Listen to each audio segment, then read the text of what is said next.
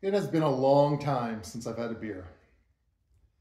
Long enough, I don't even remember if I like it. Gussie, what do you think? Should I try a beer? You want to try a beer? Gussie, you want to get drunk? Do say, Gussie? Want some beer? No, no beer for Gussie. Hold on, pal.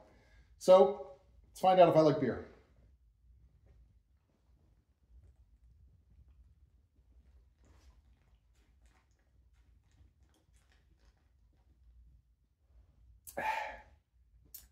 You know what?